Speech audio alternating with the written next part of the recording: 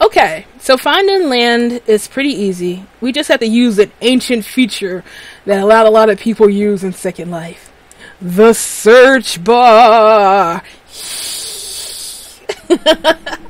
so we use the search bar, and uh, it's going to have a little feature in here called land. So you got two options. You can put the price or the area. Um, if you know how big of a land plot you want, then you can just auction. Hang on one second. Let me just uncheck that just to be sure. Okay. Okay, okay. So they have two items price and area. Price, when you put it here, it shows how much money you want to spend. This is good for when you're working within a budget and you want to try to find some cheap land. But you got to be careful because some places will list, um, like, I'll put this down here for price and I will put 1L or they'll put it really cheap and that's just the down payment to start renting the place. So a lot of people will use this as advertisement and it gets you to come to their land and stuff. And you don't really want that. You want to really pay attention to what you're doing. So actually, I need to expand this some more so I can show you all the different types so you know what this means. Because all of these look so confusing, don't they? Homestead, breedable, mainland, you know, waterfront. What does all of these things mean? What are these icons? What is this type of land? What is the area? What is this LM? What is all of that? So I'm going to explain it to you real quick because it's pretty simple. So we're going to break it down. These icons on the side are there are two types of land sales that Second Life engages in. They engage in auctions and they engage in direct sales. When you have something that is a direct sale, you'll see the little price tag on the side, and that means you can just go teleport over there and start, you know, buying it. Now, if it's got a little gavel and hammer on here, that means that this land is up for auction. And you can teleport over there to scope it out and then go on to the Second Life mark uh, auction site and uh, you know place a bid. So you see, this place is for auction. They'll give you the auction ID. You will type it into the website, and then you will place a bid against other people to try to get it. But this is usually where people who see the land, most likely a neighbor, who are trying to buy the land next to them so that they can expand their homestead. One of the jerky things that Second Life likes to do is that if you sometimes are purchasing a large piece of land, depending on the linden really, they'll put it up for auction because they believe that, you know, it's got to be fair to other people around and like yeah because everybody else wants to buy uh, a jagged hill going off into the ocean not just me we got to make this fair for them too. Uh, so you can do that. But I don't really like auctions for that very reason because I don't want to be that dream killer. Who knows how long this neighbor was here and they're trying to buy the land next to that and expand out their house and you're just coming down here like money here. Although one of the joys about auctions is they usually start off at the price of how big the land is. So the size of the land is usually the starting bid.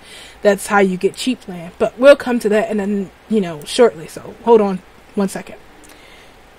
We want right now money. We don't want to wait. So let's go up and search for it. So we want direct parcels. I like to try to stay within how much we know land we want to use. I really don't like using price because, like I said, people uh, will put one L in here just to get free advertisement. So I like to uncheck the price and I would check on the area and then I would put in 1024 and search it. Now, what you want to do is search for mainland. You don't really want estate because estate means that, yeah, it's got the better support. It's like Second Life Land Premium, but it's almost always owned by a user who is paid for the estate and is selling off little squares of it, which is basically just another rental. You would be paying the down payment and then their rental cost and so on, and that's what a lot of people do. Um, they buy big parts of land and then parcel it off and then sell it like that, and you're renting from the estate. um, they this is also a good way to buy a full region or something like that if people want. So you just look through here and you see how much people want for it. So this person full place here is selling it. Who really? This is uh mainland. Oh my god. That's also something you need to keep an eye out for. A lot of people know about the 1024 parcel of free land, so they will price gouge the F out of the land.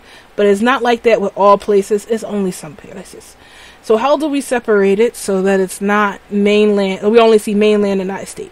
So we just need to change a little something something, all categories, and we want to change it to is mainland sales. And then this will show you how much everything costs. Then we want to tap the price twice, and this will show you all the cheap land for getting it. Now, ideally, you want to get a row um, land that is under the size of how much you're selling it for, how much the land is. I guess I'm trying to say, um, for a 1024, I would like to pay 1024 and under. But as you see, that's usually not the cost. People are trying to get their money back. They buy a lot of parcels and they try to double it, and they know that people want it for exactly what we're looking for. So you want to keep that in mind. It just depends on how well much you like the area and if you think it's worth it. Because at the end of the day, it's your money. Use it how you want it. I'm sorry. People on the east side know that commercial. what is that, JG Wentworth? Okay, anyway. Um, so let's see. Let's try out this place. And teleport here. Oof. Now, one of the most annoying things that people do is that they give you these group joiner things, and if you come here, it logs that you were here, and then the person contacts you and asks you, Are you still interested in it? And it's like, Oh, no, I was just looking at it. Stop talking to me. okay, so this land looks good at first, but we don't know the shape of it. An ideal, perfect place is a place that is a beautiful square because you can fit more on squares than you can on jagged parcels. Squares or naked man. Okay. Squares or uh, rectangles. So to check and see the land, you want to right click on the parcel and then a yellow line will show up. This yellow line is the boundary of the sim and it will show you how much your land will go for. Now, one of the things you feel some uh, my brain died there for a minute. One of the things that happened is uh, someone asked me if I buy this, does that mean that it's in a commercial zone or a residential zone? And the answer to that is whatever you please. Um, only homesteads and places like that, estates, uh, estate places dictate what they want their neighborhoods to be because you know it's their their sim their region so they get to say what you want. On mainland that restriction is not there. It is whatever you say it is. So if you want to say that this is used for commercial purposes it is used for commercial purposes. If you say that it is used for residents it is used for resident. And one of the cool things is you can actually break it down yourself if you want to, and you can uh, rent out one half of this parcel and like oh that's residential and then commercial right next door and do that for you. So it really just depends on whatever the hell you want. You're not restricted to that. Thought I'd throw that in there real quick. So this sim is actually pretty good. It's a really rare, nice square parcel. There's not a lot of traffic around here, but then again, that could actually be a good thing because, you know, lag and competition. So, not bad. So if we were to buy this, we would just click buy this land and then it would tell me that, you know, you're a premium member, um, how many objects this place uh, supports, um, sometimes you can get lucky and find a place that has a land bonus. I don't know what dictates land bonuses or not, but you know, sometimes some places have it, and this place is actually under cost. So, this is something that you would want to look at. So, basically, you would just TP around and try to find a place. Now, one of the fun things that you can do is go into abandoned land. So let's just say you scouted all around and oh, wait, wait, wait, don't ban me. Whew. Okay. Well, that's hella dumb.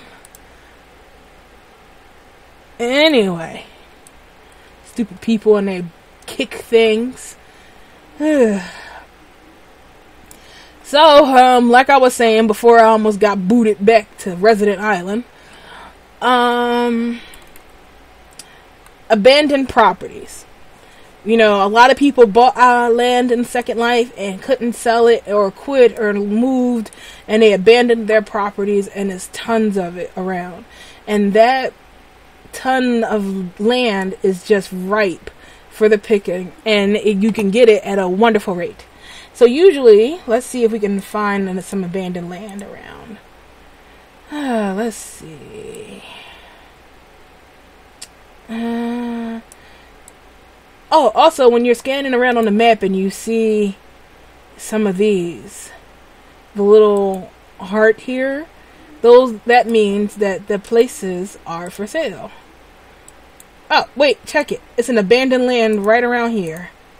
Where did it go? We were here. Then here. Ah, here we go. Let's teleport over here.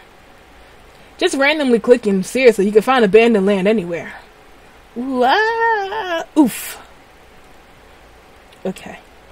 So let's say you've stumbled upon an abandoned land. And it's got everything you like. Look, you can see the water from here.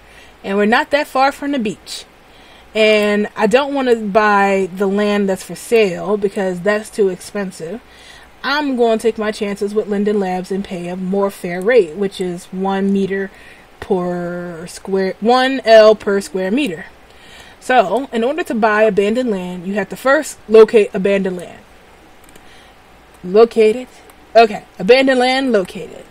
Then you have to take a screenshot of the land, and we have to file a ticket with Linden Lab in order for them to come over and then they'll sell it to you.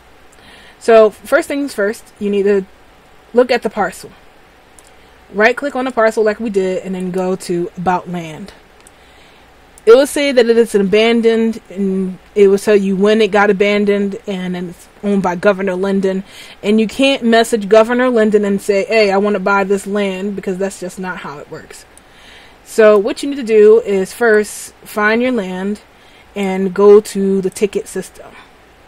So I'm going to go over to help and support. You would think I would this by now how much land I had to buy. Then you go to land and oh, don't need that. You need to submit a support ticket. Next, you go to land and region and region purchase. Oh, no, no, no, no, no, no. Region offline, which is a skill. Hey, they changed it. It used to be.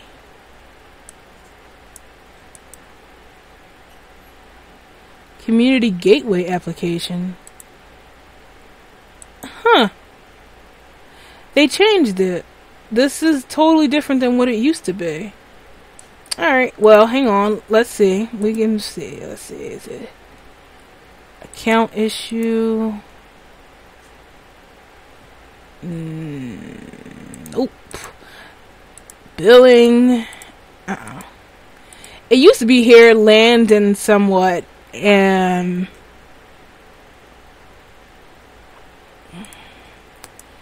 I just let me see. Can no, you have to pick one. Hmm. Before it used to be land.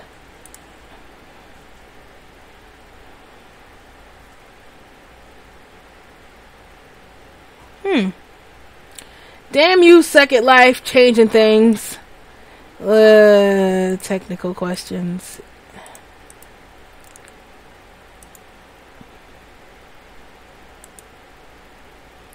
Hang on one second. Let me look into this and I'll get right back to you.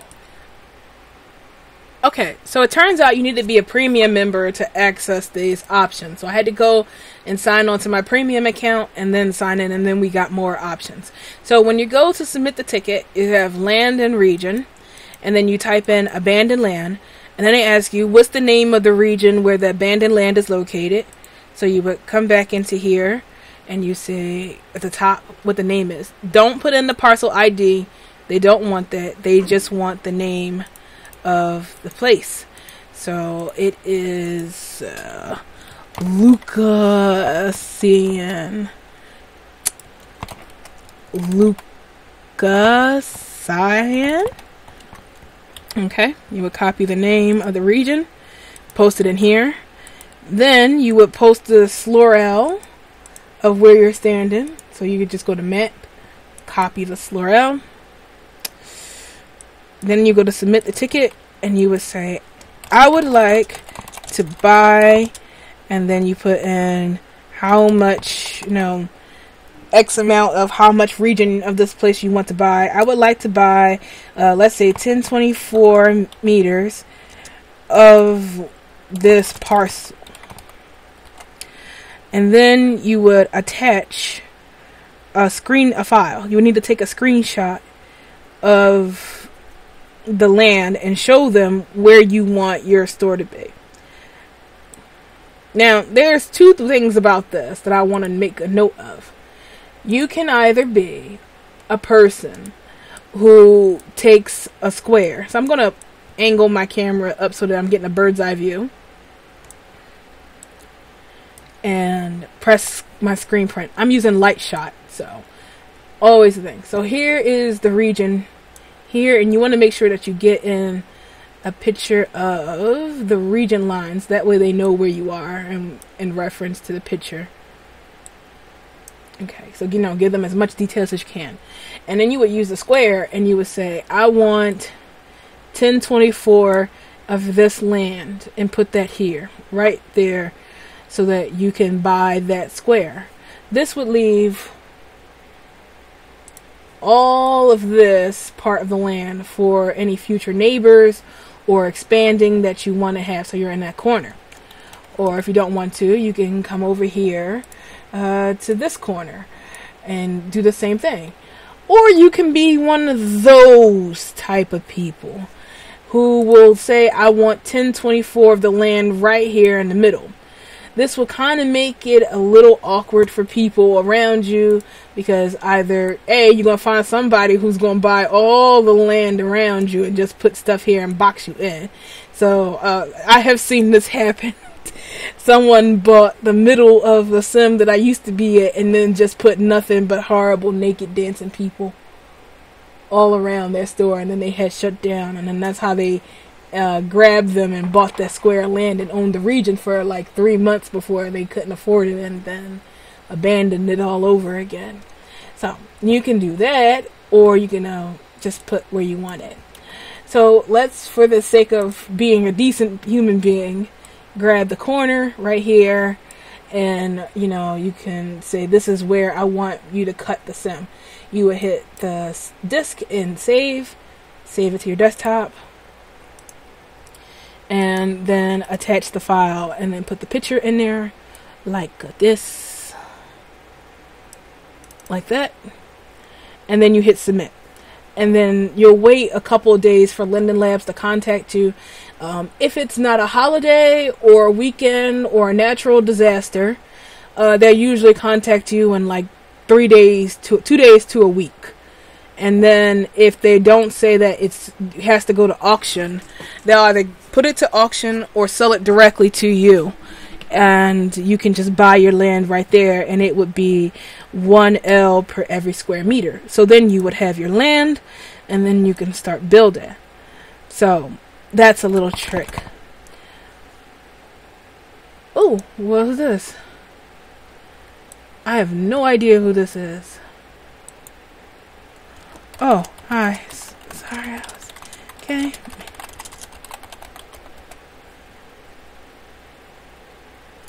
Alright, well, I'll talk to that guy in a minute. Alright, so, um, I forgot what I was saying. Now, one of the things that I really like about using, um, yes, I want to close you. One of the things that I really like about using abandoned land and buying this is the billing.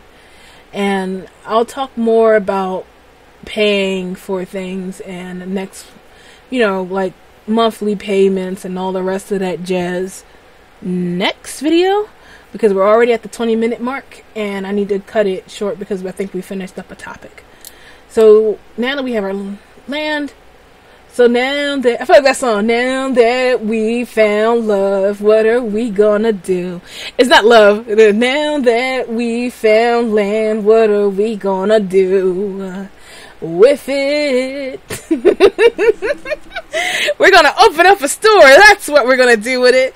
So let's talk about that in our next video about putting down a store, getting those cheap fixtures and putting out advertisements, you know, throwing the flyers around so people can find your store. So that's our next video, and hopefully it's going to be our last video on the topic. And I'll throw in some little tidbits that I learned along the way about land and money and junk. So, see you guys in the next video, and I hope this is helping you so far.